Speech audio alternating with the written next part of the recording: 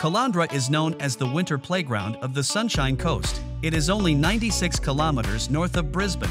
Caloundra, which has a population of about 88,000, has great surf beaches and a beautiful countryside. It has something for everyone. Caloundra has protected rivers where you can fish, boat, water ski, or even sailboard. You can also walk to the lighthouse and down to the Mooloolah River from Port Cartwright Drive.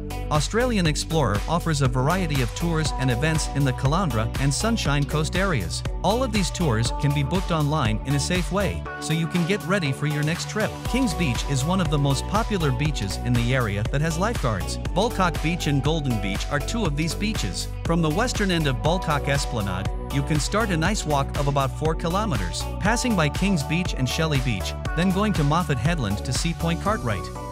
Caloundra is known as the area's business center, but the nearby towns of Kawana Waters and Pelican Waters are growing and becoming more self-sufficient.